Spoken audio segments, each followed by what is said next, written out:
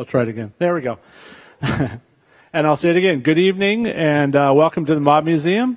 Uh, thank you all for coming. Uh, we, you know, I really appreciate the turnout for our event tonight. You know, there's so many competing events going on in Las Vegas and on television and whatnot that I, I recognize people are making choices and just so great that you've chosen to come down to our museum. I think we've got a, a great program uh, tonight. What I what I see in the audience are is like a lot of people who've been in Las Vegas a long time and who appreciate the history of our city and who uh, love to sort of remember and to learn more about uh, you know the city and the people in it and and the things that happened and and to recollect about you know what was good, what wasn't so good. But you know I think so many people who live here have lived here a long time. Uh, you know look back fondly on the earlier times here. And it's not that we don't like what we're doing today, but you know, Las Vegas was a little bit different in the 1950s, 1960s, and 70s, and that's what we will be focusing on tonight. So Thursday will mark the 50th anniversary of the opening of Circus Circus, the iconic casino on the north end of the Strip. Um, for some of us here, it may be hard to believe that the opening of Circus Circus happened half a century ago. Uh, for others, that probably seems like ancient history. So it just depends on your perspective.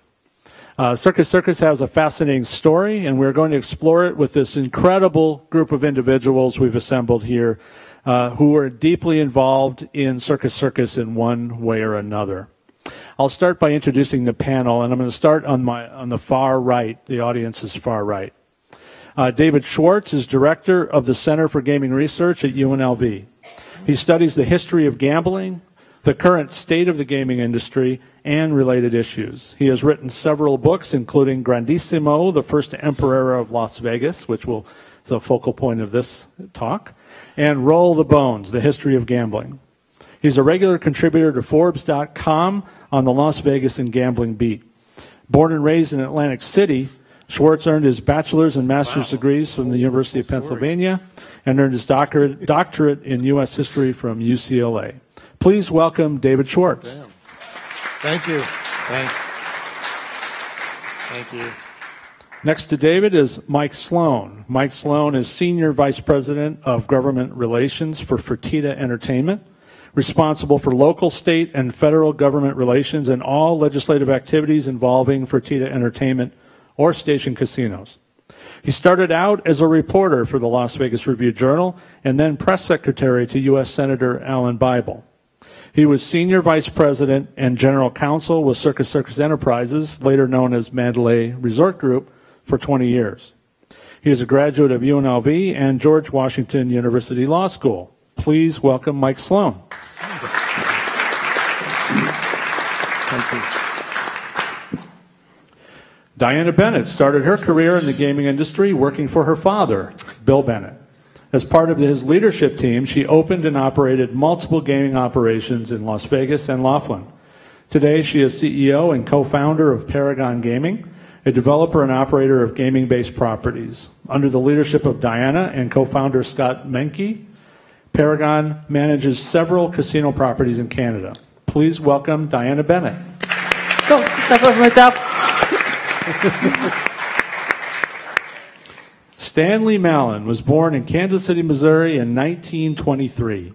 He served three years in the Army in the South Pacific during World War II. He then graduated from the University of Missouri, where he met none other than Jay Sarno.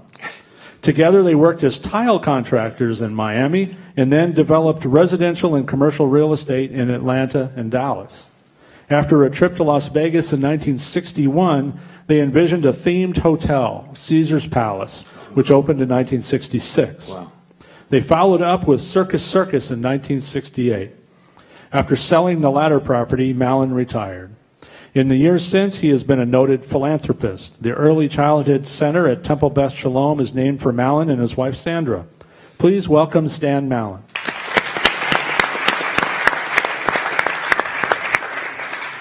Last but not least, in any way, is uh, Jay Sarno Jr. I should say Jay Cameron Sarno, generally referred to as Jay Sarno Jr., was born in Atlanta and moved to Las Vegas in 1965 when his family relocated here because his father was building Caesar's Palace. In 1987, Jay founded Crescent Design Inc. in San Diego. Um, Crescent originally was in the consulting design business for casino gaming machinery, but it has since evolved to become a world leader in the design and production of specialized automation and test equipment used primarily by the medical device industry. Jay is a member of the North Coast Repertory Theater Board of Directors. He and his wife Julie are involved with many local and regional theaters and other charities. Please welcome Jay Sarno Jr. Now, now, as always, we're going to have a, a, conversation up here. It's kind of a talk show format, kind of very casual and comfortable conversation about the history of Circus Circus. Afterward, we're going to have a Q&A session with the audience in which you get to ask questions, uh, whatever you want. Uh, we'll, we'll open the floor to questions. We're going to bring a microphone around once you raise your hand and you're, you're picked, just like in school. Uh, the microphone will be brought around and uh, then you can speak into the microphone because we need the people on the live stream to hear you and for the recording. Uh, very important. Um, also, after we're done uh, with the Q&A, uh, we're going to head down to the speakeasy and distillery. And there's two, at least two reasons to go down there. One is if you were given a wooden nickel uh, before, did anybody get those? Those are uh, give you a great discount down in the in the speakeasy. So I definitely want to take advantage of that. Um, now, and more specifically to the purposes of our talk tonight, uh, David Schwartz is going to be selling and signing copies of his book, Grandissimo, which is a, a fine uh, biography of Jay Sarno and, and a look at Las Vegas during that era. So uh, please head on down to the Speakeasy and Distillery after the event. I think Jay Sarno uh, Jr. is also going to be hanging out, so you can ask questions of him and, and, and perhaps some other people in the audience who we'll talk about in a little bit. And I'm giving so. away books, so. Well, and let's not forget, uh, that's exactly right. So Diana has brought with her copies of a biography, essentially, of her father, Bill Bennett. Um, I actually was the editor of this book many years ago, so I'm very proud of it. And she's actually giving those away tonight. So you can walk away with one either signed by Diana or anyone else want to have sign it. And uh, so that's very generous. Thank you for that. That is a great book. So we're going to we're going to start. Um, what I want to do is sort of break this into two sections. Uh, my goal. Uh, that will we'll kind of talk about the history of Circus Circus chronologically first, and I'll hit each of the panelists, and they'll contribute their their piece to that story, and then we'll open it up into other more general questions and and uh, and commentary. And all along, I encourage the panelists to chip in if even if you aren't called on. If you have something interesting to say, please uh, please go ahead and, and uh, pipe up. Everybody has a microphone and they're free to use it. so, Stan, um, as a senior fellow here on the panel and the person who was so integral to this, this story, um, can you describe the origins of your partnership with Jay Sarno and the development of Caesars and Circus Circus, just in general? Well, I met Jay in college at the University of Missouri. Uh, we, we went in business in, in Atlanta and we went on a junket, came on a junket to Las Vegas, and we we thought there was not a decent hotel here. So that's that was the genesis of of uh, Caesar's Palace. and after Caesar's, we kind of hit lightning in a bottle. They say we made we made a nice piece of change. So we decided to build. And He decided he was his brainchild to build Circus Circus. I went along because I thought, well, it's easy money making gaming after Caesars. So that's the, the, the how Circus started.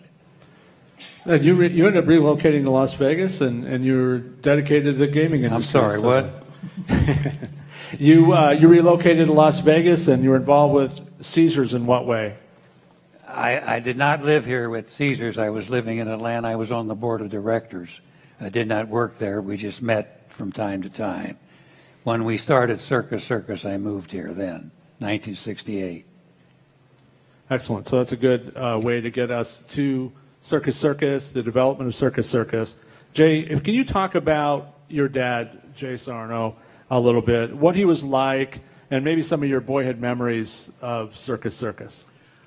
Well, what I what I remember, uh, I was I was 10 years old when Circus Circus first opened. I was 13 years old when I first went to work there. This is my employee badge. Um, 46 years, ago, 47 years ago, um, ran the bumper car ride, and um, it was it was a pretty interesting situation to grow up and learn what the mechanics were of bringing these kinds of things into existence. And between my father had no hesitation to have uh, I or any my siblings are here, Freddie, my brother, and my sister September and Heidi, and um, we could be present in the middle of anything he was doing, and he was he was very accepting in the sense that he was so oblivious to everything. He didn't know where we were anyway. So um, we could be in the middle of the process, whether it was at an architect's office or on the site and climbing in trenches and climbing on cranes. And so we had a front row seat to the whole process. Um, being in the design office, listening to discussions about des- the design process, um, and growing up with a, with a very strong sense that it's not straightforward, it's not orderly, it's certainly not his way of doing it. I think for some people it is. Certainly his way wasn't. He was a brilliant man. Um, I, used to, I used to think that one of the most important jobs Stan pl- played was to constantly tell my father, no, that won't work. um, that's, that's, that's too expensive. That's illegal. We can't do that. You know? Um, and Stan was kind of the moderating voice of reason in so many of these discussions. But it was a, it was a real interesting environment to grow up in and be able to, to observe. And certainly, it was, even as a kid, it was clear how different Caesars and Circus were. And as I've gotten older, what I've come to realize is the real sort of essential truth here is that if you contrast the two big projects he, he, he did here, Caesar's Palace was incredibly innovative in terms of the design concepts, in terms of taking a theme and creating a deep, immersive theme experience a la Disney. Um, and in terms of the, the way that theme was applied with the, the level of materials and quality and opulence and, and just raising the bar as far as what that experience was. But the business model of it was conventional. It followed the standard pattern Las Vegas properties followed. It had a showroom, it had a pool, it had a casino, it had a gourmet room, a coffee shop. It was templated right off of the standard working model, and it was a success from the start. As Stan said, they, they struck it. It was, it was a goer from the beginning. It was done right. Circus, on the other hand, I used to refer to it as uh, the Nevada State Gaming Research Laboratory because it, Circus completely tossed out the business model. Here was a property that you entered on the second floor, kids were welcomed, you charged admission. There were no rooms. There was no expensive uh, entertainment as far as big time names. The entertainment was immersive. You were literally, you know, at the casino table and people were over your head and people were jumping out of the ceiling and landing on the floor on mattresses and and it was it was um, and it also was extremely innovative in terms of the fraction of floor space de- dedicated to slot machines because my dad recognized in a very early way that the slots were much more productive. And in those days, casinos had gaming in the middle and the slots wrapped around. And the standard model was that men were at the tables, the, their wives needed a place to be occupied. And so circus was this amazing place, and for the most part, it didn't work. Um, yeah. I want to ask uh, David to uh, elaborate on this sort of in the in the historical context of the times in Las Vegas. Um, Caesar's Palace very successful, Circus, and we'll get into this in more depth, but not so successful at least at first. Um, uh, what was the what was the context of this? I mean, how what was happening in Las Vegas at that time, and and why was Circus struggling at first? Well, in those years, you have the first move of the corporate uh, companies into Las Vegas with Hilton, Kirk Kerkorian's building the International right around this time which is, was for the time a huge 1,500 room resort. So you really have a lot of money coming into Las Vegas. Uh, Jay Sarno and, and Stan too didn't have that kind of capital, so they really had to be very entrepreneurial, very improvisatory, trying to get something together. And like Jay said, it really was in a lot of ways ahead of its time with the focus on slot machines. That really was going to be the future. How did how did why didn't people figure that out? He was really the first one to figure that out, right? Yeah, you know, a lot of it also comes down to the technological changes in the slots, which I kn- which I know Jay could talk about. It, I won't bore you with all the details, but basically they become a lot more entertaining to play, and you can win a lot more money in them, and that's when people really start playing them more. Stan, uh, in your mind, uh, um, what were the reasons behind uh, Circus's early financial struggles? We were undercapitalized. We had a mortgage, we had second mortgage, and a lot of loans that we were fighting all the time to, to make payments. Uh, and the business didn't didn't uh, grow as we thought it would. We when we opened, we didn't have any rooms. We opened just a casino. We later built 400 rooms. That helped a lot, and uh, we were getting along. We were making it pretty well un- until we got in some litigation with the uh, IRS. We'll get back. We'll get back to that. Very good. So, Jay, you kind of touched on a couple of these things already, but what were the, in your mind, the fundamental, like maybe even structural problems with the, with Circus at that in those early years? Well, the, my, my dad's assumption was that he was going to create a product so appealing that he was going to take the people staying in the rooms in other hotels and make them come down the street. That was an assumption that was um, not really analytically tested, and it proved to be uh, not right. And that's why, as Stan pointed out, by 72, we had opened up the first 400 room tower. Um, the other thing is that it didn't really, it wasn't a property that attracted a lot of gamblers on the high end of the dollar spectrum. It was designed to sort of make it up in volume, if you can understand that expression. Um, and I don't know the numbers, but we also had the, the problem of in, in those days when you borrowed money from the Teamsters, you had this cash leak problem, and that contributed that contributed to your difficulties. And and in my opinion, I'm trying to be objective here. I mean, I was joking with you earlier that the, name Circus Circus to me refers to the management style of the hotel. it, it was chaotically run, um, and I, I think during the time my, my father and, and others were running it, is it they simply could not get the, the, the, the revenues up to the point where, and the cost down to where it, it met and really became efficient. And it wasn't until he was, he, it was leased out to the Bills, to Diane's uh, father Mr. Pennington, that they were the ones who really masterfully figured out how to make Circus Circus work. So I really think that to a large reason the Circus Circus is here after 50 years, which is a major achievement in Las Vegas, and it's not been bulldozed. Really, oh, uh, you can't give enough credit to, to Mr. Bennett and Mr. Pennington for achieving that. Absolutely, and we're going to turn to them momentarily. David, um, Teamsters Union in Las Vegas obviously was very influential through its loans for casino development. Can you kind of explain the Teamsters Union at that time and its impact on Circus? Certainly. At the time, it was really hard to borrow money if you wanted to build a casino in Las Vegas because building a casino in Las Vegas is a very risky proposition for a lot of reasons. The Teamsters Union under Jimmy Hoffa were one organization that would loan money to people who wanted to build casinos. As time went on, though, there were a lot of strings attached. You'd have to appoint certain people in the casino. One of those folks who showed up at Uncle, my Uncle Jim. Circus Circus to run the gift shop was Tony Spilotro, who probably needs no introduction among this crowd. And you can ima- I imagine he wasn't there just to sell the snow globes, and he was looking at something. And so, just a quick note on, on the Teamsters Union and Jimmy Hoffa. It fits right into the building we're in. Uh, did you knew Jimmy Hoffa a little bit? My Uncle Jim. Oh, yes.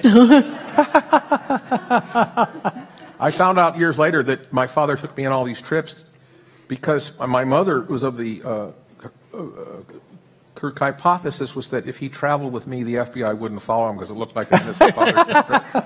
But we went all kinds of trips and met all sorts of people. And um, my Uncle Jim, whether it was going to Miami or his place in, in outside of Flint, Michigan, and um,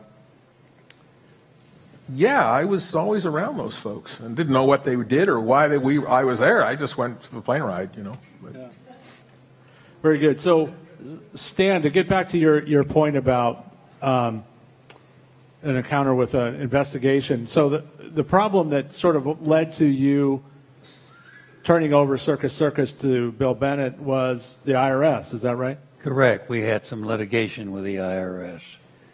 Uh, and at the conclusion of it, the Gaming Control Board very strongly suggested we divest ourselves. uh, Bennett, Bill Bennett, and Pennington came. I don't know quite exactly how they came about, but they were a godsend.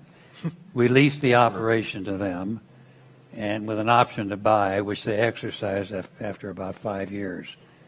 Uh, they did very well. They were better operators than we were. Perfect. So that that's a great segue for Diana to, um, if you could talk a little bit about your dad and um, what I'm curious about is, you know, certainly what he was like, like um, not only as uh, a dad but as a, as a casino operator, um, and and what things do you believe he brought to the table that helped Circus Circus succeed under his uh, management?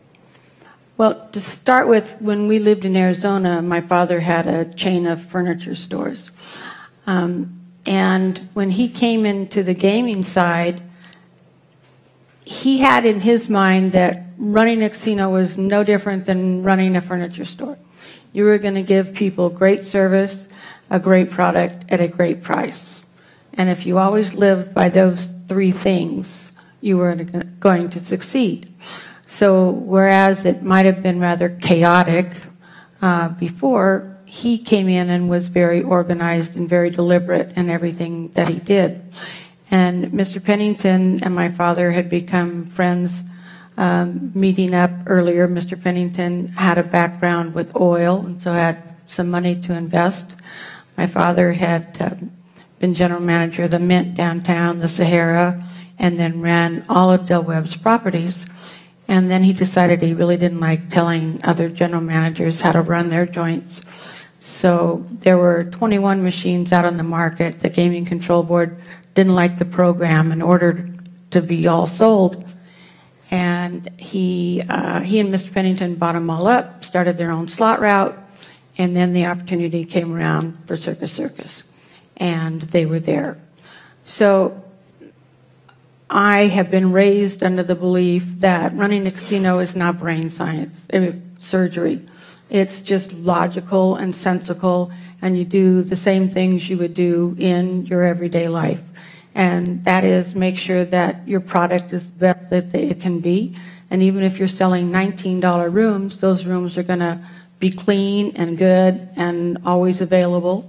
And when he got to the point where he was actually selling out all the rooms, he came up with the logo of uh, rooms available. If not, we place you. And that became a huge bonus for us because we had a reservation system right there at the front desk. And if we were sold out, we got them rooms someplace else. Um, a very funny story along that line was one time we were sold out and we booked people at the Desert Inn across the street. Burton Cohen happened to be general manager of the Desert Inn at the time. And the people then wrote my father a letter and said they'd come to circus. It was crazy busy. They couldn't get a room. He booked them across the street at the Desert Inn. They wanted to thank him because it was so quiet and so peaceful at the Desert Inn. and they could play any machine they wanted and had a great time. So he wanted to thank my father for what they did. So, of course, my father signed it on the bottom and sent it over to Burton and said, you know, these people liked your place. So, uh, but um, and and so it, it, was just kind of a lot of the things that had been done. I mean, we had chickens that were on hot plates. Um, so you put in a quarter, and the chickens would dance because their feet were being burned. Not a very fun thing to do. Um, and he just wanted to make sure he believed, just like your father did, that slots were going to be it. And he learned that from Benny Binion when he ran the Mint. Uh, Benny Binion told him everything he could about slots and that slots um, were going to be the thing. It was no longer going to be your brother-in-law running slots so that the women could play. Um, so he had strong belief in, in his slot machines.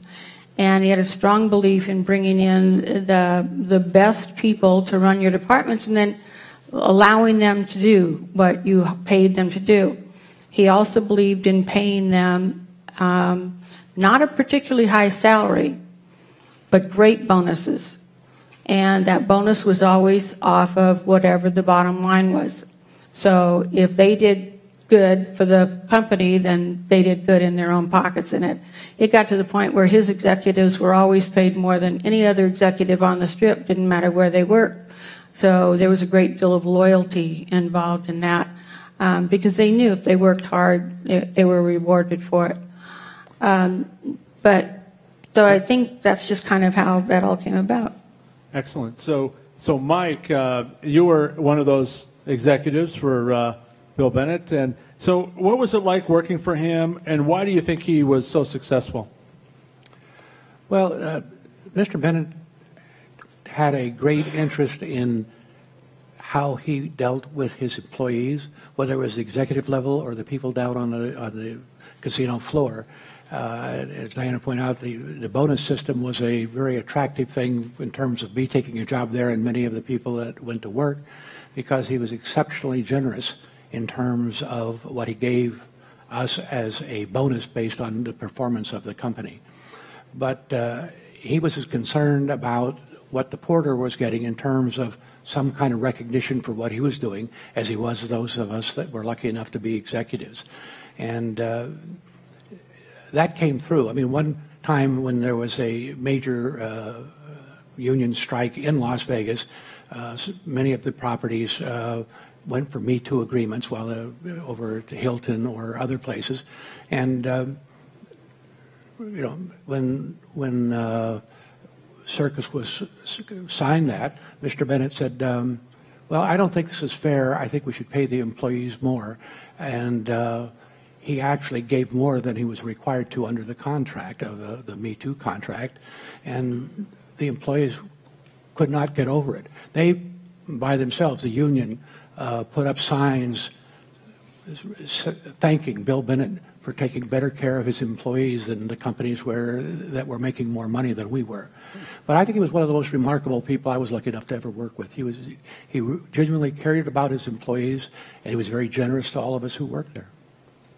Perfect. Um, so, David, um, just to sort of wrap up this section of, you know, sort of the chronological section of this uh, story, um, really Circus Circus became the basis for, I guess, you know, it's a colloquial, but a, a casino empire, right? I mean, Yeah. well, they built this, what had started out as a little circus tent kind of a casino into one of the biggest com- casino companies in the world. Yeah, not only that, if you look at how Las Vegas grew in the 1980s, a lot of it was because they borrowed the model that Circus Circus had, where the high end in the early 80s, late 70s, early 80s took a hit, and a lot of casinos went to open it up and be more open to the middle market. So Bill Bennett was definitely ahead of his time in this and really formed not only a successful company, but inspired other companies as well. Well, and, and just to, uh, to uh, sort of complete the narrative, I mean, the, a lot of people, when they think of this sort of mega resort era in Las Vegas, they think of Steve Wynn and you think of building the Mirage Hotel, which is, is true, but what, Mr. Bennett was right on his heels. Yeah. Well, we had uh, Excalibur, Luxor, and then Mandalay Resort Group. I mean, this was a progression that was put in place, but he was very successful in uh, attracting and keeping really talented people, whether it was Tony Alamo or uh, Mike Ensign or other people who would come in and help create what they did, that company. I mean, we had those three properties lined up in a row there, and each was had a little different market niche, and that was uh, largely due to Mr. Bennett and to the people he recruited. But when when they took over Circus, um, you have to understand that that's kind of at the time when the mob was somewhat at its best or worst, depending on how you look at it, and the licenses for almost all the ancillary properties, the the gift shop and the liquor store and all those were held by numerous mob members, and Willie Cohen and Carl Thomas and uh, Spilotro. And so one of the first things he was bound and determined to do was to get all of them out of there.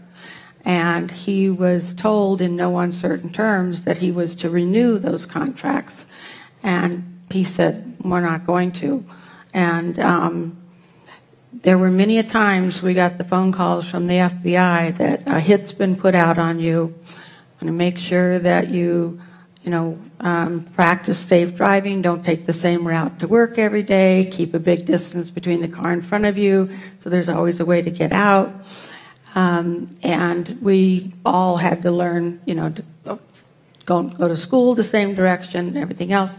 So what does my father do? The first thing he does is he buys this fancy white Cadillac convertible with bright red interior, um, to which we replied it looked like a pimp's car and he shouldn't drive it in the first place.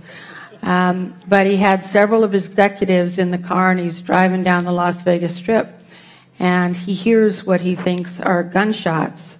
And um, so he swerves, he hits a light pole, wrecks the car, and all it was was backfire from some other car. Nobody was shooting at him, um, but he got rid of the car on that one. So, um, but it was it was quite an endeavor, um, and he was very brave at that time to to do what he did.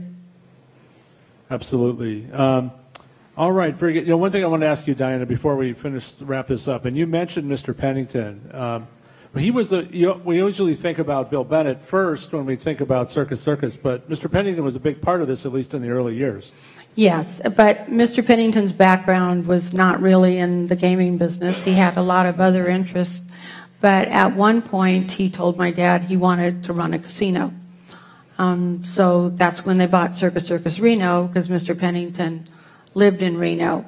Um, and Circus Circus Reno, that had been a big department store that they turned into a casino in downtown Reno. Um, and he did operate that for quite a few years, but um, it just really wasn't what his heart was in.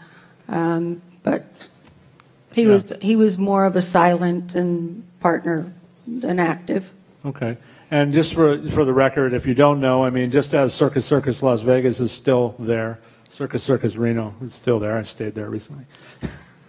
um, Jay, let's let's come back to you. Um, I, there, we've we've given a chrono- chronological look at this story, but we've passed over so many funny and interesting stories that are part of the Circus Circus story.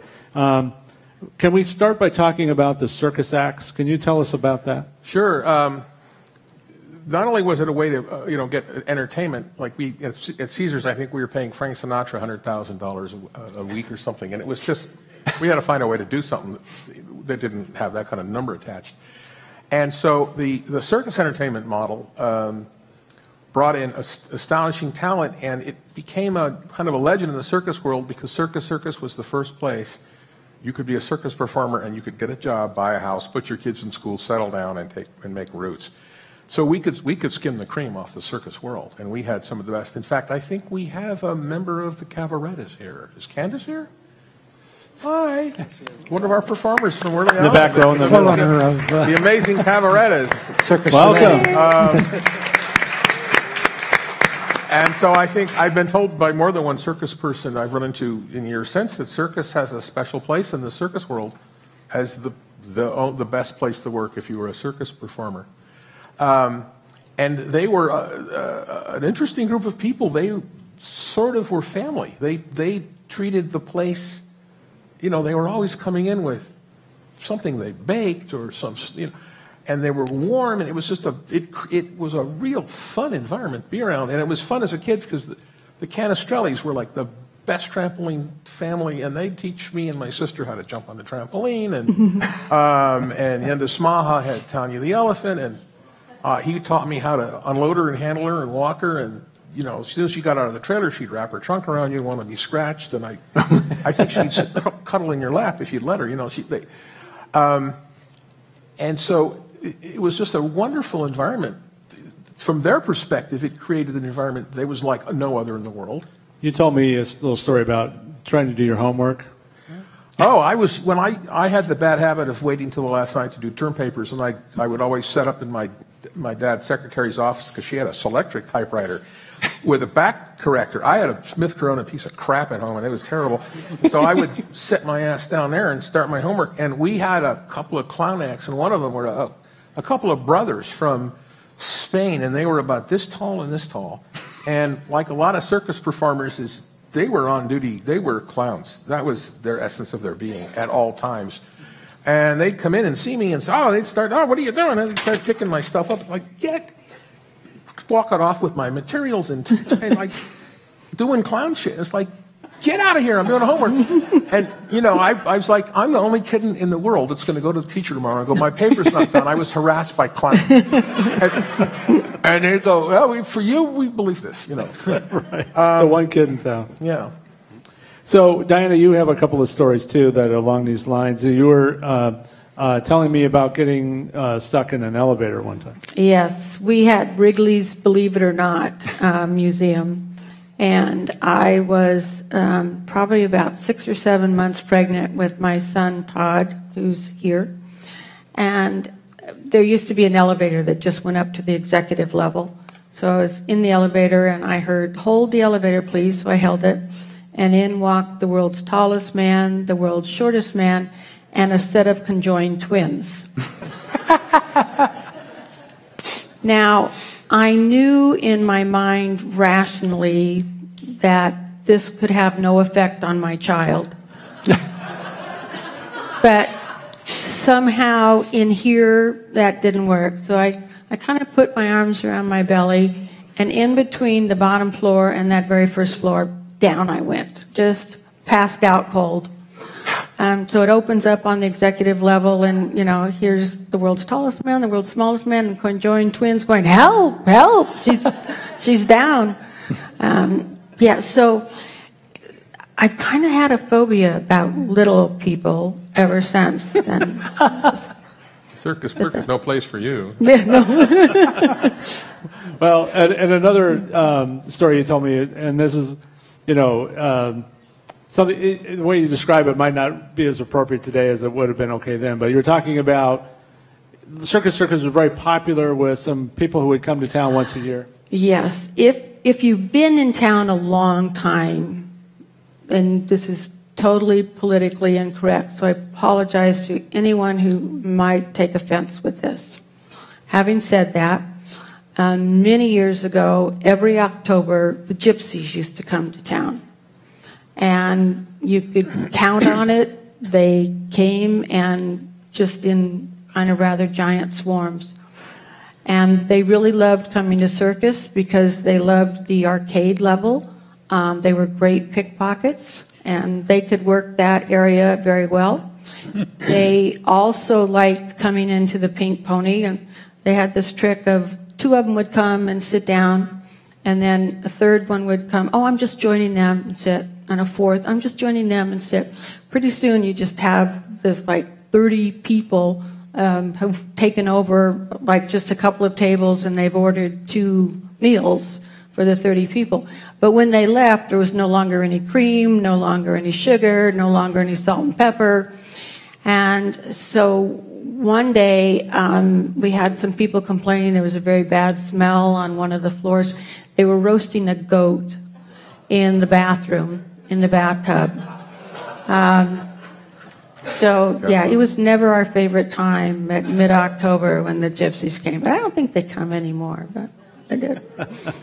Very good. Um, Mike, uh, working for Mr. Bennett, you, um, you know, talked a little. You've talked a little bit about how, uh, you know, he he was uh, he had certain feelings as a manager. He didn't like if an, an, he asked an employee what they were doing. He said, "I'm working on it," or "I'm working on something." Yeah. What did? How did that go down?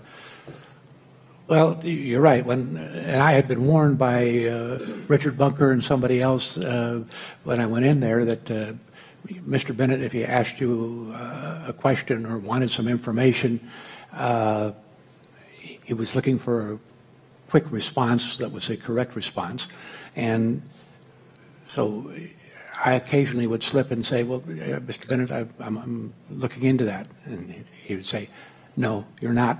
Tell me what the answer is. And so I finally, at one point, um, said, Mr. Bennett, would you mind walking down the hallway with me to that lovely office you built, built for me? Because it had been Jay Sarno's office, but they turned it into a law library for me. So I walked in and I said, Mr. Bennett, see, see all these books that you put in here? I said, uh, that's where the answer is, and I can't remember everything that's in those 200 volumes. And he said, All right. so that, that's how he was. But, you know, he, he was, he wanted people to be responsible and responsive to what needed to be done. But when you explained to him, even under that circumstance, you know, he, he would occasionally uh, remind me that I should be looking at those books a little more carefully. But he, he was probably of the places I worked and some of the colleagues I had in other properties, one of the most respected executives because of the way he was. I mean, don't forget, Bill Bennett, when the union uh, subsequently had the famous strike down at the frontier, um, and they were marching up and down the strip and all of this, it was Mr. Bennett decided that unilaterally our company would take the responsibility for feeding the employees who were not getting fed uh, as they were doing it. Now, whether or not there wasn't a vote on it, this was his decision. But I mean, it was a very generous, caring decision, and I think it uh, helped uh, solidify the relationship that that company had for many years with the union employees because he had done something that was, he felt, necessary for his own employees.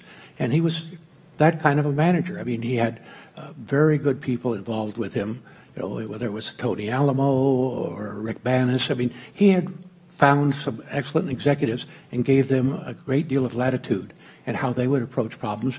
And they would consult with him before they obviously implemented anything. But he was, he was a terrific executive.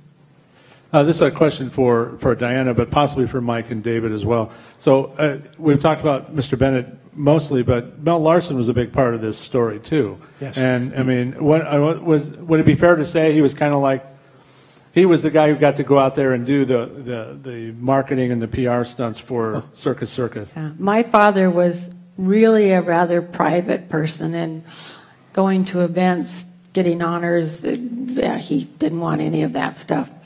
But Mel Larson, you have to say he was Mr. Circus Circus. There was not a, it was, it was so embarrassing sometimes, I swear. You'd go into a really fine restaurant and Mel, every waiter that came up, Mel'd reach in that pocket and here's a Circus Circus key ring. Oh, wait a minute, you need a Circus Circus pin on your lapel and this one's got a flashlight.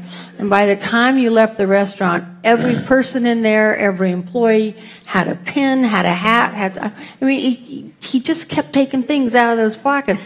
and, and, and when I was young, I used to find that kind of embarrassing. I thought, oh my God, how's he doing that? But then you realized those people, when they came to Las Vegas, they were going to go to circus because of everything he had given them. He was a master at it. He really was. And to follow up on that, you'd get on an airplane going from Las Vegas to Reno or somewhere, and nine out of ten times you'd get on the airplane, there'd be people wearing that mm-hmm. pin that uh, Mel had given out. And, you know, he had the uh, uh, car racing there and handled the public relations and did a great job. I mean, all of the, the, the people that he had performed very, very well, I think, in yes. terms of the success of that company. And David, uh, I think this is interesting context because one of the things that's interesting about Las Vegas history is how we kind of revere our public relations and marketing people in a way that probably no other city does. And, you know, whether it's the Las Vegas News Bureau photographers in the 50s or, uh, you know, the other promoters of, you know, entertainment acts on the strip and what have you, Mel Larson follows in that tradition, I would think. I think he does. And, you know, his enthusiasm is what made him able to do his job. He's not sell, you know, Frank Sinatra, you don't have to be a great marketer to sell Frank Sinatra. It's Frank Sinatra. you know, to sell slot machines, I think you do have to be a great marketer. And that really is a testament to him and his ability. Absolutely.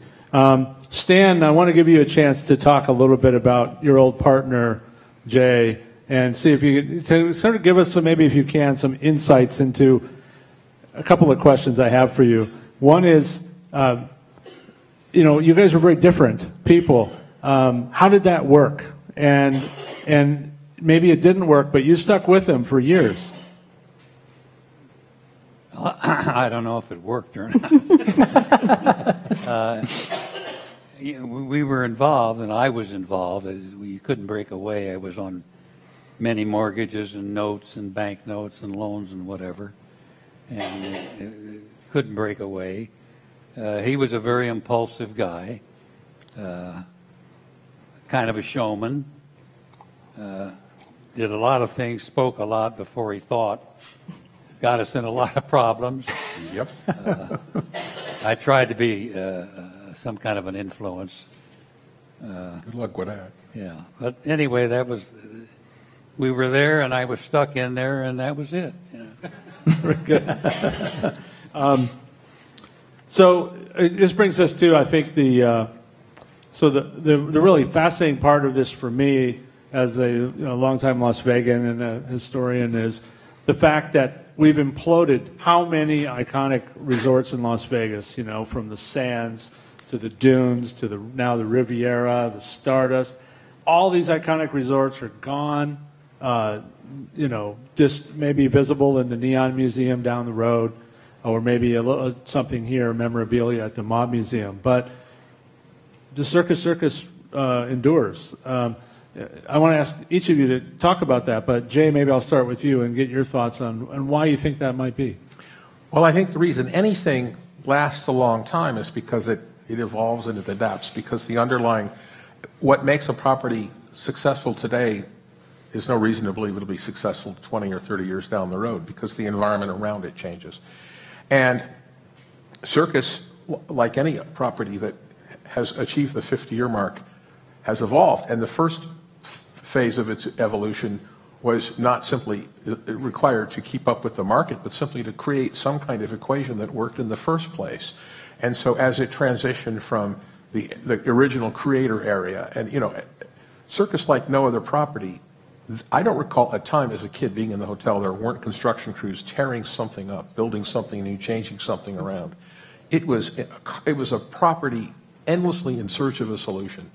And so as it transitioned into the, the Bennett and Pennington era, that, that automatically brought on this huge evolution of, uh, you know, it coincided with when the, the room inventory became large enough to support the property. And it evolved, and then over time, it continued to evolve. It added an RV park, you know. It, so the, the reason circus continues is because it kept, it kept changing and reinventing itself. David, what do you think about that? I mean, it, it this, is, this is your sort of bailiwick, right? The evolu- evolution of Las Vegas. Um, circus has been made fun of in so many different ways over the years, and yet, you know, I think it made for MGM uh, properties, it made seventy million dollars in profit in 2016. What uh, what's going on down there? I think it all comes down to what Las Vegas is and what Las Vegas should be, which is hospitality, making people feel welcome. And obviously, people feel very welcome at Circus Circus because it was such a property that was designed in a way to appeal to people. And I think it appeals to people's sense of fun. You know, you, yeah, part of Las Vegas is the ultra luxury and the sophistication and stuff, and that's one layer of it. But I think at the core, people want to come to Las Vegas for fun, and it has to be accessible. And I think Circus Circus has done both for 50 years. Diana, do you have any, thought, any thoughts on that? Yes. Um, I think Las Vegas has this tendency to somebody starts something and then the trend is everybody's going to do the same thing. So um, when Circus Circus became successful as being a family place, then we saw everybody up and down the strip um, build a roller coaster, build a theme park, do all of these things that Las Vegas was no longer going to be Sin City, it was going to be Family City. And then we saw all of those places tear down their theme parks and their roller coasters um, because every place shouldn't be a family center. But circus was doing it and it was doing it well. So as we've evolved, um, we've seen other trends. We've had all the nightclubs, you know, we've had one thing after another. Um, but circus kept its core. It knew what it was good at, and it's continued to do it. MGM has not poured in a lot of money into it of late, and she looks a little tired. Um, but the premise is still the same. Kids still want to go there. Parents um, of whatever income know they can go there, and their kids are going to have a good time, and they can have fun. Um, and it's not going to cost them an arm and a leg. Everybody has a good time. And you still have all the opportunity to see everything else that's up and down the strip. So the premise of it worked in the beginning and it still works now. Absolutely, and I just, you know, I think it's the, it's the only resort on the strip that still has an RV park. uh, which is interesting, and and it, it has a theme a theme park, right? It has an adventure adventure dome. One of our employees here uh, tonight worked at the Adventure Dome for many years before they came to the Mob Museum. So, uh, you know, there's a lot of people who've worked there and had connections there, and it, it, it really endures. Um, all right, so uh, before we, I, I want to open this up to the audience here in a minute. But uh, Jay, can you explain uh, what's sitting beside you on the Oh, table? I certainly. Um, opening up a hotel or casino typically, you know, involves pretty elaborate invitations. And there was a, a second opening in '72 when the first 400-room hotel tower went up, which I was there. I helped do it. It was a very chaotic process. But this was the invitation sent out to everyone, um, and it's had a ceramic What happened to statue, and it has all of the pr- specifics of the opening and what to do. And they threw a big party. And these were sent out. I don't know, Stan, how many of these sent out? Probably a couple thousand of them. But these went out to uh, anyone and everyone that they thought might want to be, be part of this. Um, and this is uh, this is my brother's actually. Uh, a few of us still have these uh, these these uh, from 1972 from the hotel opening. Something tells me you wouldn't send out an invitation like that today. Took some money, yeah.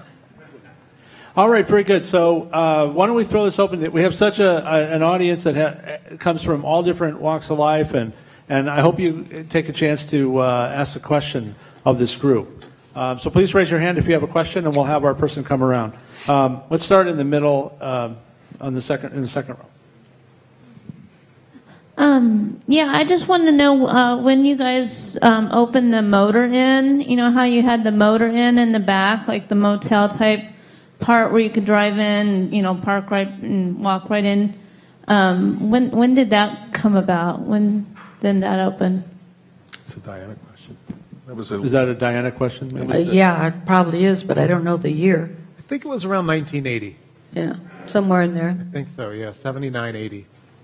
And I think I think today see, uh, Circus Circus has something like 3,750 rooms. I mean, that's a lot of rooms. Yeah. But they come in all different sizes and styles. Yeah. Price ranges. Uh, okay, let's let's take this one. I'm sorry first, and then we'll take the one in the back. Thank you. Uh, for Jay, one of my first introductions to Circus Circus was early 70s James Bond Diamonds Are Forever. Yeah. so, can you talk to me about that? Did they approach you? Did you approach them? You were really an integral part of that film. How did Well, that all yeah, what- become? I actually learned a little bit about that because I I actually watched some of the filming. Um, in those days, James Bond scripts were sort of outlines, and they would send people out on location based on the, where, where the, the, the story was located, and they would scout for people, places, and things that they could sort of on the fly, in an almost im- improv style weave into the narrative of the basic script. And that's why you saw, I mean, those of us who were from Las Vegas thought it was hilarious when you saw somebody like running through the, um, the casino of one casino and they'd run out the door and they'd be outdoors of another casino. But, you know, because you live here, you know that stuff. But they came to circus and um, they saw all these different opportunities to sort of drive their, their story forward and they approached us. They approached my dad and said, we want to film here. And he did what he always does, which is, oh, you can't shoot a movie in here unless you put me in it.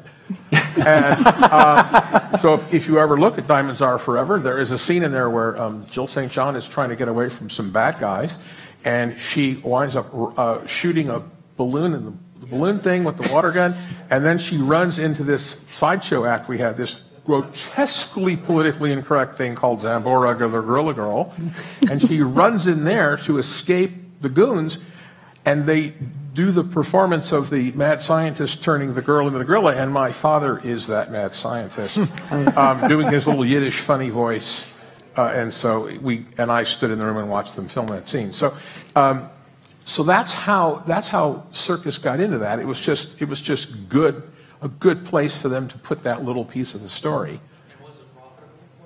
Oh, they don't. I don't think they paid us any money. Uh, uh, uh, it was just it was just a, a fun thing. publicity. Yeah, I don't think there was any money changed hands. The second question here.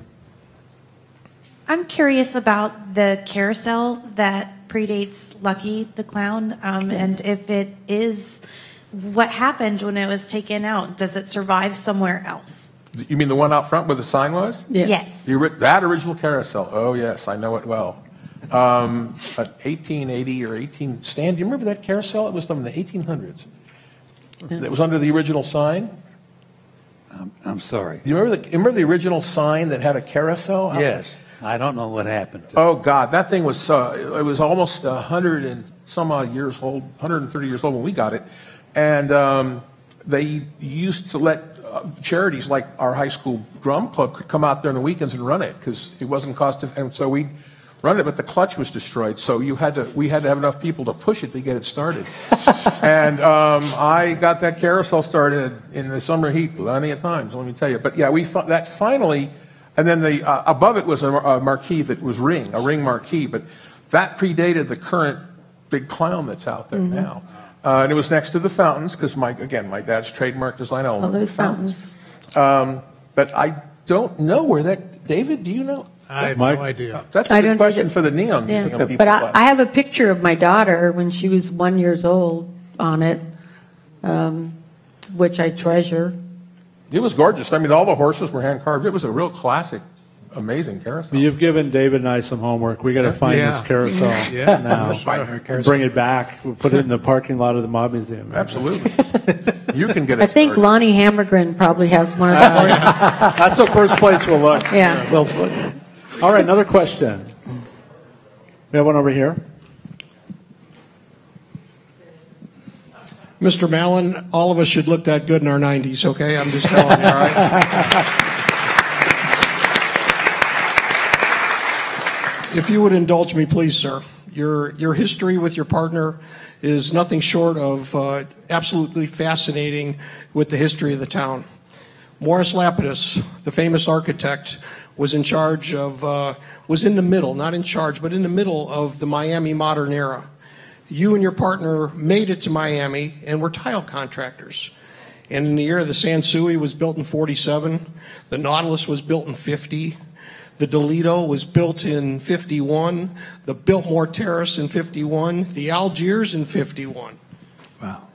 Then Mr. Novack and his partner, uh, Mr. Mufson, they went on to uh, uh, build the Fontainebleau, although Mr. Novack left Mr. Mufson out at the uh, signing table, is a famous thing.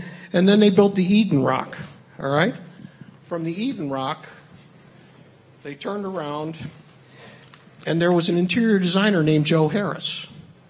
And Joe Harris was a, uh, an intricate part of uh, what it appears is the development of your hotel skills in developing. And from Joe Harris, you guys went on, somewhere along the lines, you met Mr. Hoffa. And then you built the Cabana Atlanta. And then you built the uh, Cabana in Dallas. And then you built the Cabana in Palo Alto. And then you went on to build Caesar's Palace. Could you tell us about Mr. Lapidus? Did you work on those hotels in Miami? And then how did Joe Harris work into it? And then where did Mr. Hoffa come in? Joe Harris was in Atlanta. We met her in Atlanta. She she worked on our motel there. We didn't do Lapid. We did Mel Grossman, was an architect in Miami Beach, and he designed our our hotel in uh, uh, Atlanta. And I think he did some work on uh, Caesar's Palace. What was the rest of your question? That was a lot of questions. It was more of a, uh, a- a timeline as uh, how fascinating you and your partner's uh, adventure was through the 40s, 50s, 60s. And then where did you meet Mr. Hoffa along the way? Because obviously the Central States Teamsters Pension Fund, Mr. Beck went to prison in 57 for tax evasion. Mr. Hoffa became the president in 58. You guys borrowed money from the uh, Central States to build the three hotels. So how did Mr. Hoffa play into it? When we were building a, a motel in Atlanta, there was very few mortgagees. They, they did, mm, not many lenders would loan. Our attorney at that time had done some work for the Teamsters, and he suggested that we go and uh, solicit them to, to loan it. We met, we met with the union and their pension fund, and uh, Hoffa kind of took a liking to Sarno.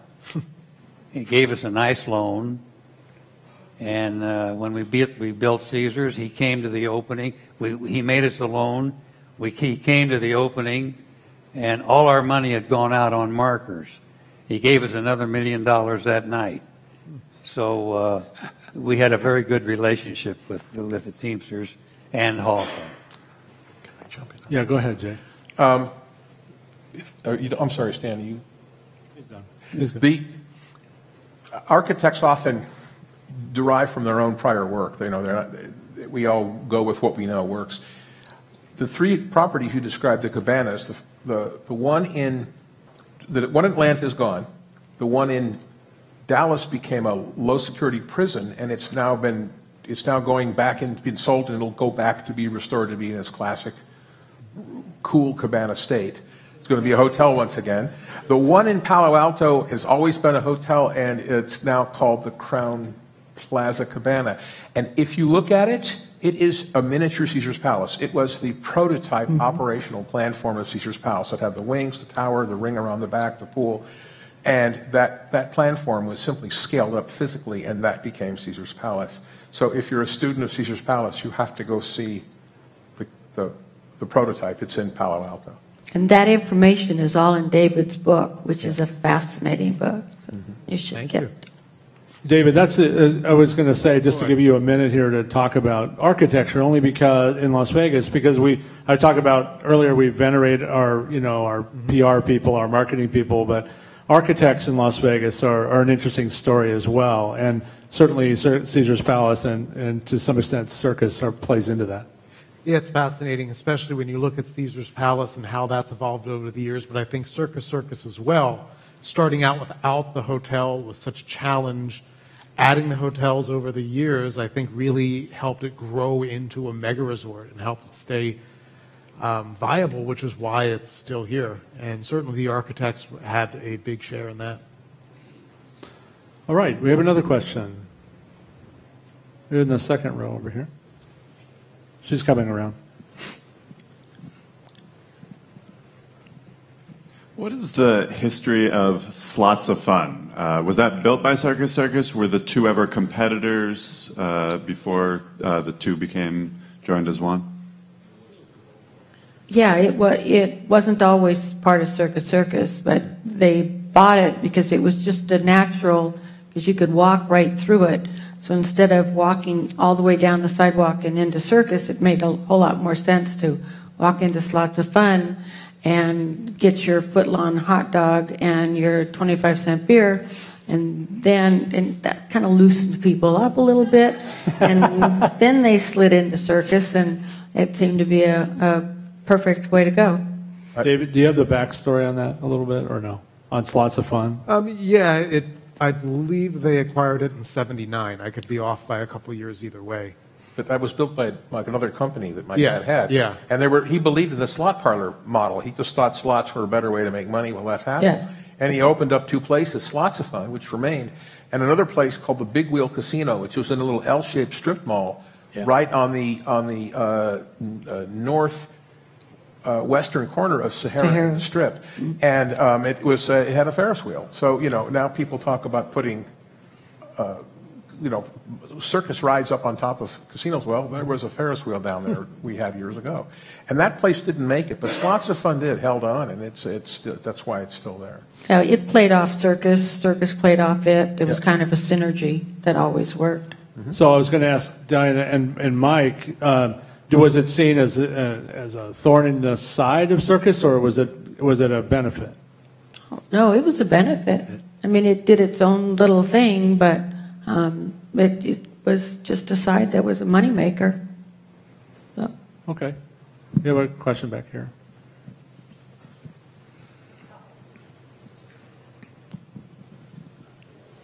Okay. So why were the hot dogs discontinued? What was it? The I didn't foot long, catch- the foot long hot dogs. oh, th- th- those were really good hot dogs. I, now, I never fully ate one, but it's like a it's I like a did. whole meal. Um, but they were great hot dogs, and the beer was always kept on ice right there, so the beer was always super cold. Okay, but how come they're not there anymore? I you would have to ask MGM now. I, would, Okay. I wouldn't have an answer. All right. I had one. Did you? Yeah, never again. Yeah, they were a big draw. I, you know, and by the way, I'm not sure they're not there. I, I think they're, they still have some s- small concession that's Slots of Fun. We might have hot dogs. It's a Subway now? Oh, Subway. Oh, yuck. There you go. Not that I hate Subway or anything. Subway's fine. Just doesn't seem the same. W- Why don't we take one more over here, um, the back row?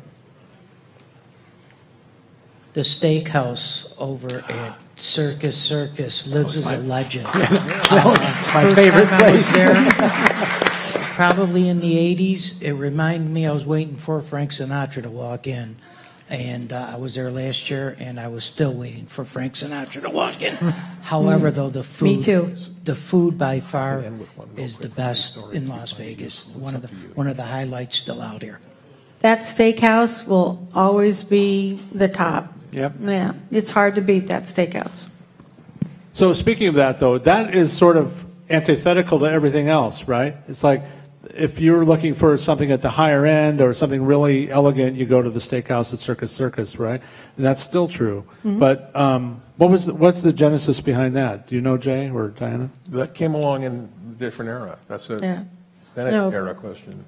He We had, had the steakhouse when we opened. Well, we had, yeah, but it wasn't where it was now because that was a different uh, physical layout. was it up where the gourmet room was? At one time, they had the most amazing gourmet room. Yes. Bon vivant, yes.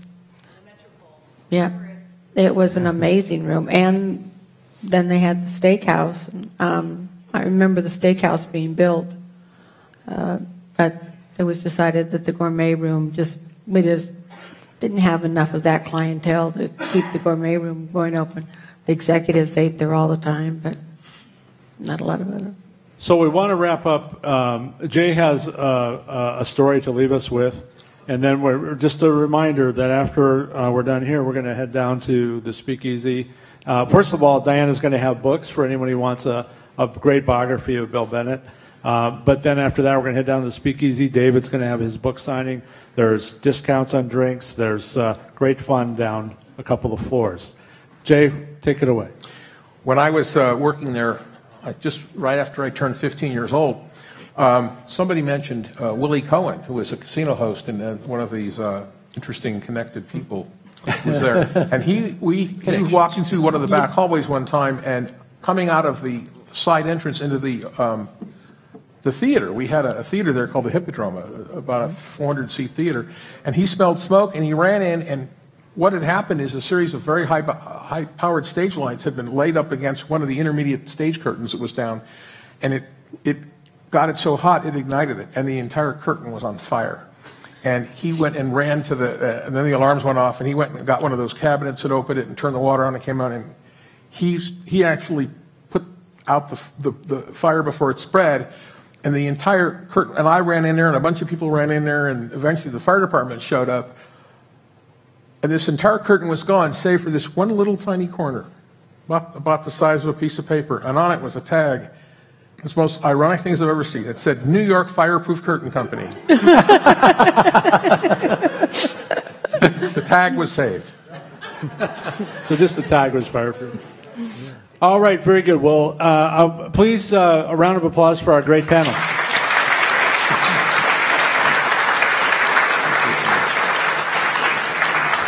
We're gonna um, we're gonna make, make our way downstairs, and if you have additional questions for Jay or anyone who uh, is able to stick around, uh, they'll be happy to answer your questions. Thank you. See you there. Whoop. Nice job. Got my little thing.